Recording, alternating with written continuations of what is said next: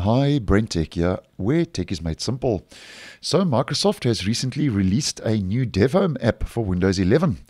Now, my main reason for mentioning the new DevHome app, um, which is mainly uh, focused at developers to help keep track um, of their workflow and just to collate things into one convenient place, my main reason for mentioning the new release of the DevHome app is that the app now comes with new widgets that can help you to monitor your system resources on Windows 11 like your CPU, GPU, RAM, and your network utilization. And I actually think this may be the first set of so-called third-party widgets that um, that I may actually use um, on a practical level uh, in Windows 11.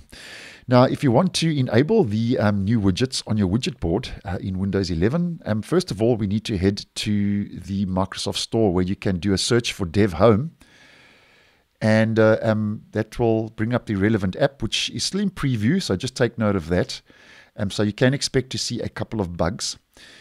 And uh, um, once you've installed the app, um, once that app is installed, they, you then just navigate to your widgets in the bottom left of your taskbar on Windows 11.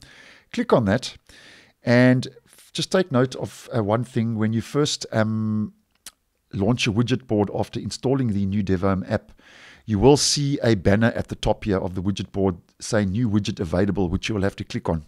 And then once you've done that, you can just head over to your add widgets, and here we get all our new widgets. There's one for CPU, GPU, network, and memory. And to add those, we just click on the relevant widget. Um, there we go. That's for my CPU to help monitor my CPU. Now my GPU, that's the graphic processing unit. Uh, let's head to memory. That's my RAM to help monitor my RAM and then my network utilization as mentioned. And I just want to refresh that. And there we go. So there's my four widgets, which I actually think, as mentioned, is a nice move in the right direction. And I actually think I may actually use one or two of these on a regular basis. Now, um, the default layout for the the actual widget is a a medium layout, so um, a medium size. So you can um, change that to small. So that's just an example of the CPU and the GPU running a small widget. And we can also change those to large using the CPU and the GPU. And the large actually gives you a couple of extra options where, yeah, you can see you can see extra processes that you can actually end and kill those processes.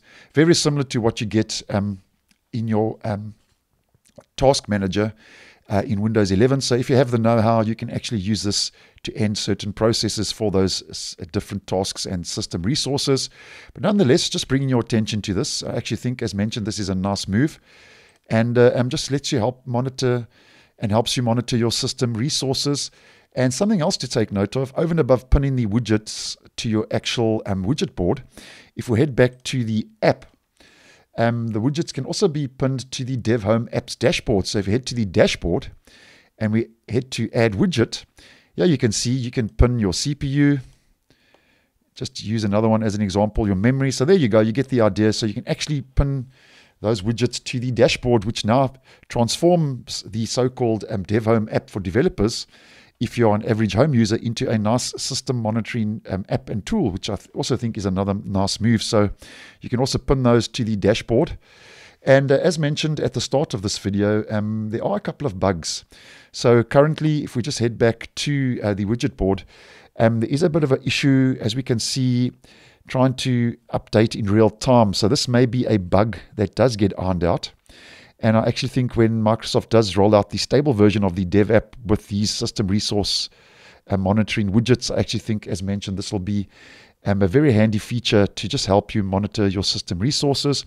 And uh, that's for your CPU, GPU, memory, and your network. Now available to pin to your widget board as um, system resource monitoring tools in Windows 11. So thanks for watching, and I will see you in the next one.